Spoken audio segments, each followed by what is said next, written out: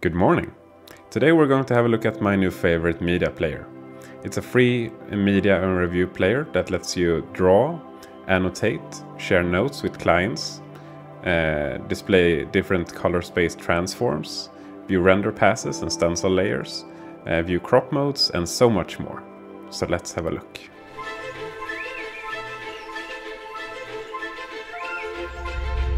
So this is not sponsored in any way, but I found this tool a few months ago and I've been using it almost every day since then. And it's so awesome, so I just have to share it with you guys. First out, we have to download it. Head over to the link I've supplied down in the description. It's made by a company called ftrack, which also makes very cool project and shot managing tools. Then you will also need this OCIO file, which contains a bunch of valuable color spaces that uh, you can use not only in uh, CineSync but also in like Unreal Engine and Blender and Nuke. So I suggest having this config file locally on your computer so you can use it in different softwares. It's available for free on uh, GitHub, so I'll uh, leave a link to that file down in the video description as well. So like most media players, you just drag and drop your file into the window here. You can have a look at the video. So here we are in CineSync. This is how the interface looks. It's a very clean and minimalistic interface. By using the keyboard keys J, K and L, you play, stop, reverse and go forward in time. So you can scrub through using these three keys. So this shot was actually rendered from Blackmagic Fusion using the ACEScg color space. So we're going to view that color space here in CineSync. You can find these settings up here in the toolbar and go to color grading. Here you can locate the uh, OCIO uh, color space config file that you downloaded from GitHub. I have a duplicate here, so ignore the duplicate. Sorry about that. Now you will have access to the whole library of uh, color spaces.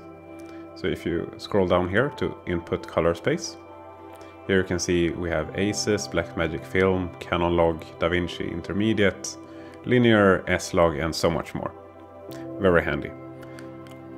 So we're going to apply the ACEScg, which I uh, used for my clip here, rendered from Fusion. And now you can see how it actually looks. This is the way it's supposed to look, with the correct gamma curve and color space. So let's say that you only want to view a specific part of the video file. You can do that by hitting I and O for in and out. Kind of the same way you do in uh, DaVinci Resolve, using I and O for in and out points. And you clear the in and out points using C for clear. Here we have a live action plate I shot using my Sony f55 Cine Alta cinema camera. So I want to apply the correct color space here too. So I'll go down to input color space and then apply the S-Log uh, S-Gamma uh, Cine, which I used uh, in the camera.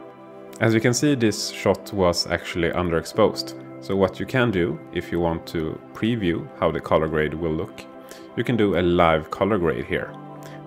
So we can go up to tools and then color grading. Also Alt plus G is the shortcut for this. So we can bring up the gamma using the gamma slider here to increase the uh, shadows a bit. And it's not like applied to the video, so don't worry about ruining anything here. So next up is the masking feature. You enable this by hitting Ctrl plus M. Here you can select a mask. So this was shot in 16 by 9. But let's say for example that we want to preview how this would look in a 2.39 aspect ratio. We, well you can do this here. You can also lower the opacity of the mask. You can align it to the center or you can adjust it by raising it up and down if you uh, shot this in 16 by 9 obviously. Uh, otherwise you couldn't do this. Also a very cool and handy feature to have, just to preview uh, quick dailies like this. So we're back at the CG render.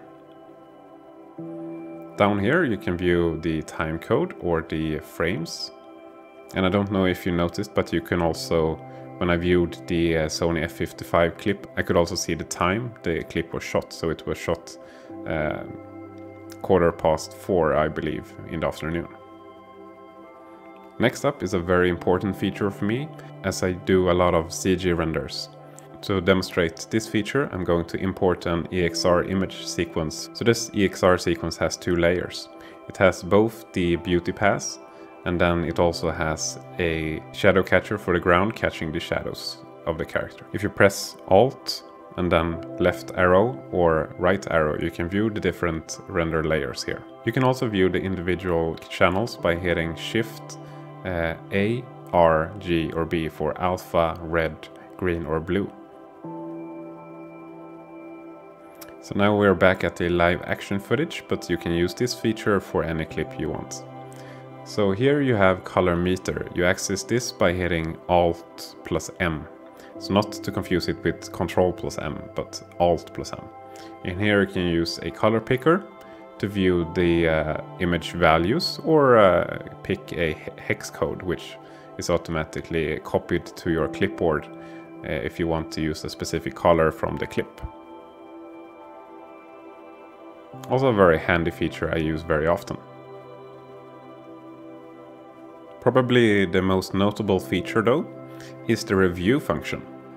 This lets you annotate, draw and share notes with your uh, clients or colleagues. So here we have a clip and let's say for example that I want to share an annotation with my client. I access the annotation tools down here. So if you press and hold, you have a whole menu of things you can select. So let's uh, select the circle for example and draw a circle around this number here. So let's say that this number is wrong and we want to uh, annotate that this is the wrong price. So the price should be 2.99 here instead, for example. Now this will only be viewed at that current frame. So if you play this back, you won't see anything.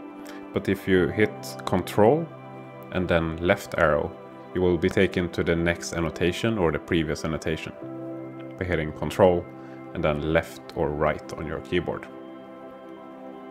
So let's do another one. We can select a brush, increase the brush size here. And let's say, for example, that I'm a bit confused as to what this blue patch is on the character's body. So let's draw a circle here and a question mark. And as previously said, this will only be visible when I actually pause on this frame. You can access uh, these frames quickly by hitting Ctrl and left and right on your keyboard.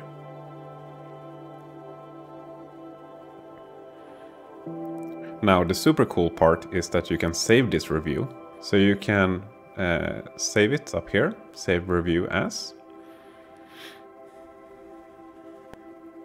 And then preferably place this file in the same folder as your video file is located. So if you share the media file, you can also share this file. You can see here that it's a very small file, only taking up a few kilobytes on your hard drive.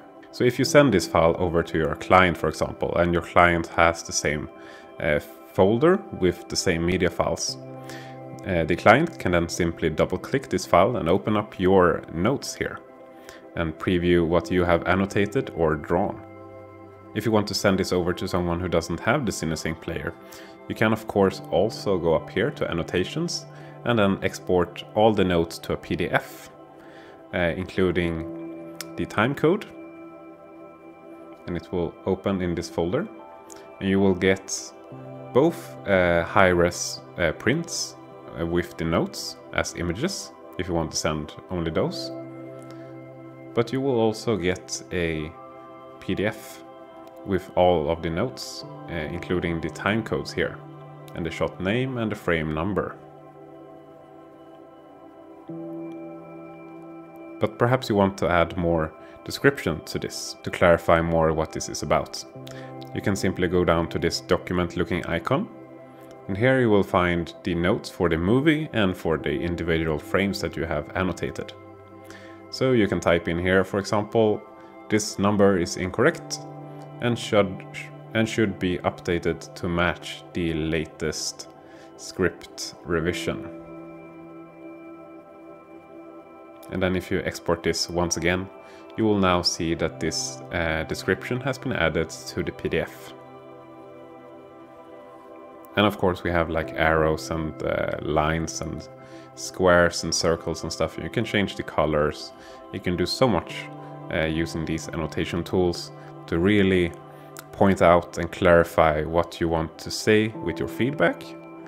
or uh, like brainstorming new ideas uh, that you can improve on and so on. Yeah, I think you get the point here. Then we also have this very handy zoom feature.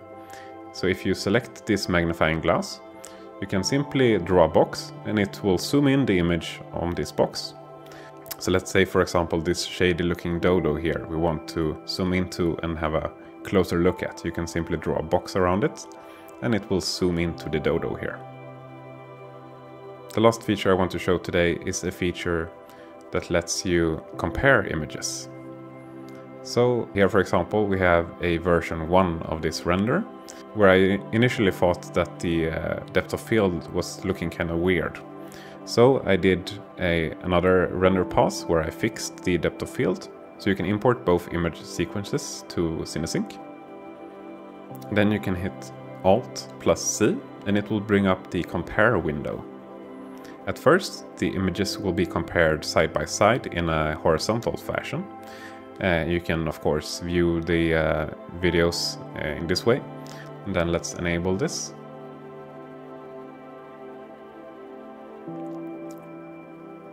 But I prefer using a wipe instead. So you can change the uh, mode down here. So let's change it from horizontal to a wipe. And by holding control, you can move the slider back and forth.